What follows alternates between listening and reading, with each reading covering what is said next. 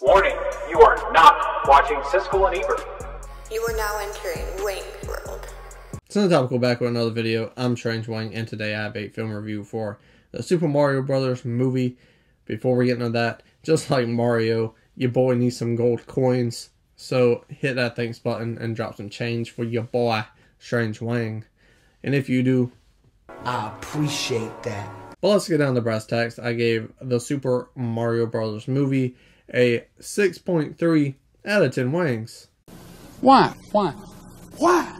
Why? Why? because I personally did not grow up with the Super Mario games. I played a few here and there with some friends or some cousins back in the day, but this is not something I have nostalgia for.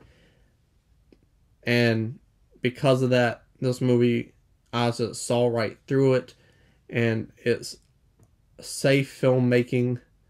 It's boring, because that's what safe filmmaking is, is unoriginal but for those 30 kids that was in that movie theater that I was in, it worked for them on every level. Yay!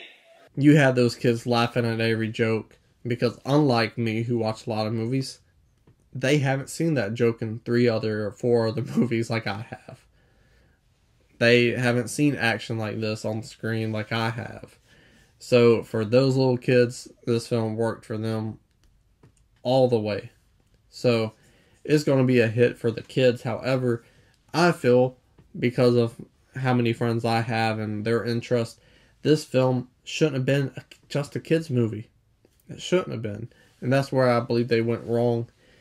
It should have worked on the level like a Jumanji Welcome to the Jungle or Shrek, where it's targeted to kids but adults still love it. Mario is loved by people of all ages the movie should have been too. The movie is definitely dumbed down, targeted to kids. It doesn't have any moments of true investment where you're just like, oh my god, Bowser's going to win. There's none of that. For those seven and five year olds in the theater, it was. But for a 26 year old and other adults who probably want to go see this movie, it wasn't there. It wasn't like a video game where you're sitting there playing and you get frustrated because you just keep losing and losing and losing it didn't have any of those qualities. It didn't have good filmmaking qualities in general. There was no extremely good dialogue. There was no action scenes that were original. There was nothing in this movie that was original. The voices, they kind of suck as well. The format of this movie has been seen by Strange Wang plenty of times before.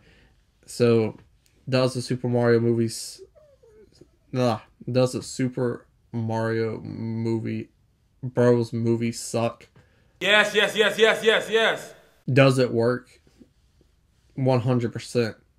And it's going to be a sequel because those seven year olds didn't go to that movie by themselves. They went with a parent or both. And if they had a brother or sister or a sibling, they went too. So this movie's to make a ton of money, especially during the spring break holiday. So, marketing wise, you people are fucking smart. But filmmaking wise, you kind of suck because this film is not a good movie. And maybe if I grew up with Nintendo, I'll ask someone who has and see what they think about it.